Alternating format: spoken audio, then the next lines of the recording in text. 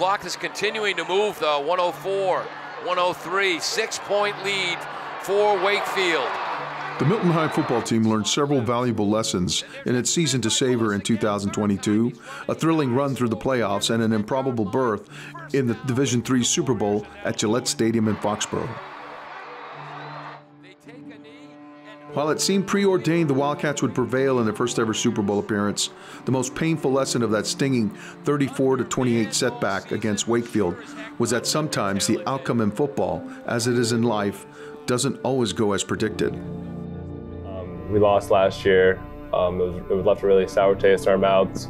Um, I couldn't sleep the night of. So the only thing I thought of was kind of get back there. The challenge before them was clear. If the Wildcats were to return to the Super Bowl at Gillette Stadium, they would have to finish the job by taking it a step further and winning the first football championship in program history. It was also clear, however, the Wildcats had one tough act to follow.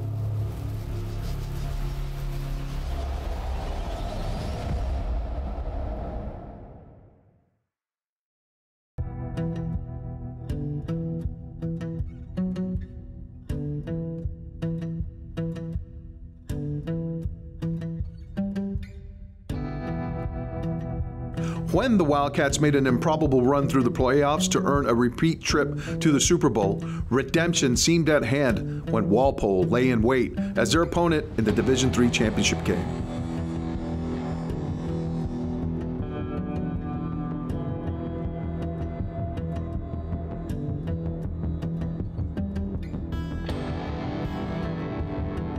It seemed a perfect scenario for Milton to avenge a sobering 42 23 setback at Walpole in Week 6.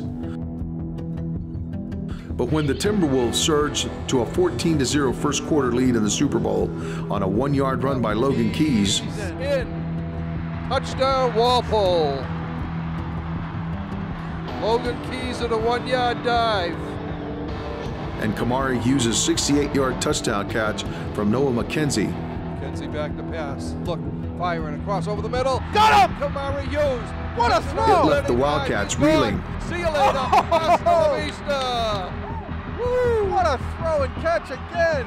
But the Wildcats were far oh from being goodness. out of the fight. If their regular season struggles had taught them anything, it was their perseverance and grit were hard-earned badges of honor. We came out of the gate flying um, in special teams, defense, efficient offense. The Wildcats opened the 2023 season on the same upward trajectory as their previous campaign, beginning with a 42 14 blowout at Scituate.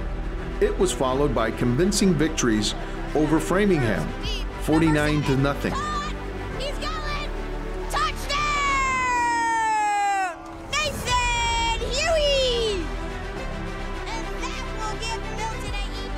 At Holliston, 42 to 14.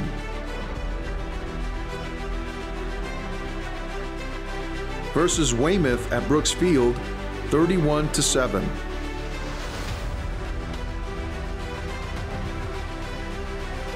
And in a gritty defensive effort at home against Needham in a 10 to 9 victory.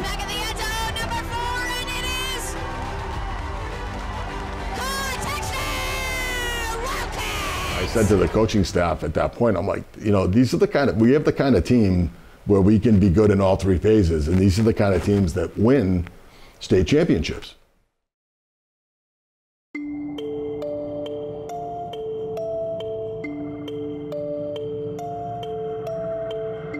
A blowout loss at Walpole was followed by narrow losses at Taunton, 21 to 14,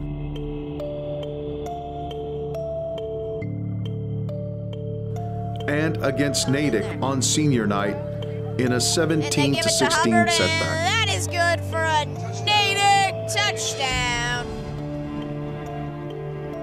Oh boy. The three game swoon at the end of the regular season cast doubt on Milton's chances of returning to the Super Bowl when the Wildcats tumbled from the number one seed to number three in the MIAA Division III playoff bracket. And I felt like the losses, we didn't play our best, and I feel like they really helped us uh, get our minds right for the playoffs and like move forward from those three losses. As the number three seed, Milton hosted the first two rounds of the playoffs and the Wildcats caught fire, winning three in a row, beginning with a 30 to 14 victory over Minnechaug.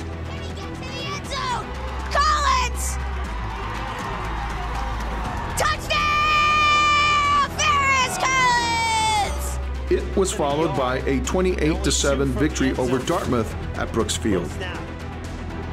Ahui is in for the touchdown. Diving across the line, and Milton strikes for the fourth time. That win set up a neutral site semifinal at Shrewsbury High, where Milton punched its ticket for a return trip to the Division III Super Bowl with a 37 14 victory over 10th seeded Westfield.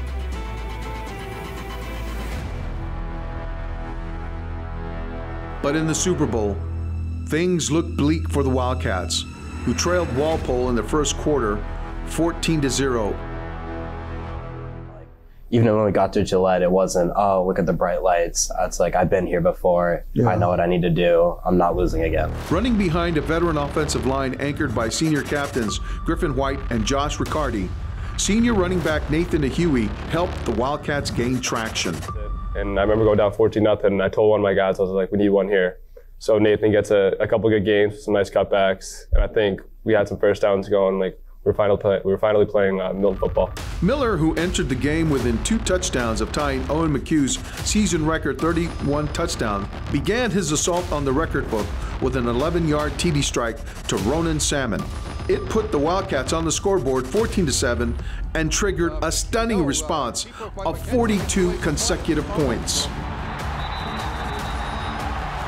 After Ben Caledonia recovered Ben Parmalee's strip sack of Walpole quarterback Noah McKenzie, Miller found senior classmate Will Renz for a tying four yard touchdown pass that made it 14 all early in the second quarter.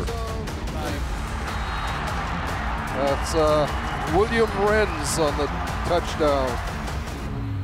Miller struck for his second TD of the quarter and third of the game to tie McHugh's program record on a perfectly delivered 24 yard TD toss to Salmon. It was followed by Harrison Hinkle's 42 yard pick six interception return, a decisive score that enabled the Wildcats to double up Walpole 28 to 14 just before intermission. There to pick it up, Harrison Hinkle. Harrison Hinkle, yeah.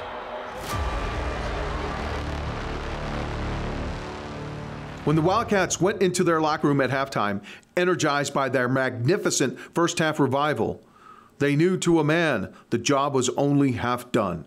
I mean, I was telling the guys it's not finished. Like obviously knowing that like we're getting the ball at half two kind of leads you to think like it's even over, but we didn't score on that opening drive in the second half, so we just had to keep our heads down and we knew it wasn't finished. The Wildcats were halfway from hoisting the hardware, but there was still work to be done, particularly by the defense.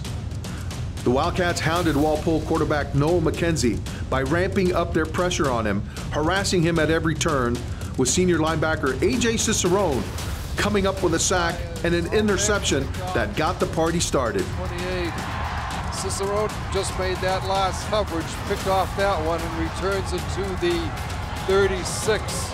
Harrison Hinkle struck pay dirt for the second time in the game with his 27-yard touchdown catch from Miller to make it 35 to 14. Luke Hartford's 10-yard TD run got the celebration started in earnest on Milton's sideline. To the outside, and he's in.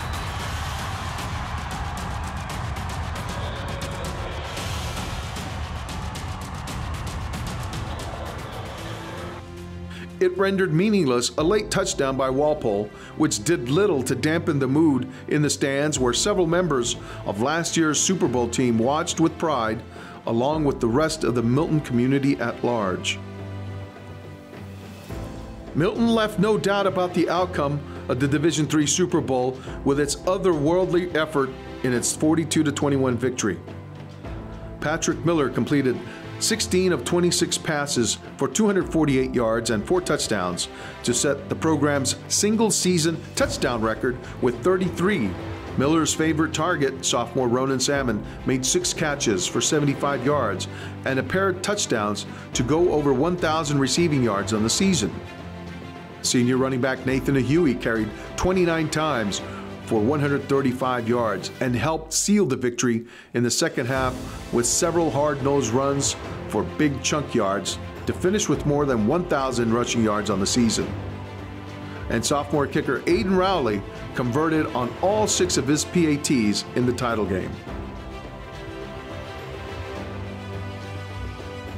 The postseason accolades poured in for the Wildcats, with captains Patrick Miller and Ben Caledonia earning Globe All Scholastic honors, and coach Steve Dembowski earning Division III Coach of the Year honors.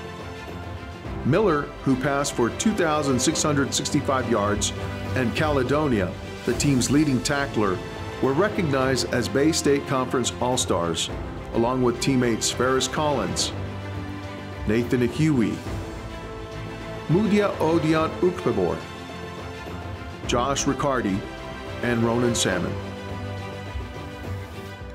In the end, the 2023 Milton High football team enjoyed its spoils of victory, hoisting the hardware in a euphoric celebration at midfield of Gillette Stadium, where this proud band of brothers were feted by the community for being the first to bring a state football title to Milton, where these Wildcats forever will be remembered as one tough act to follow.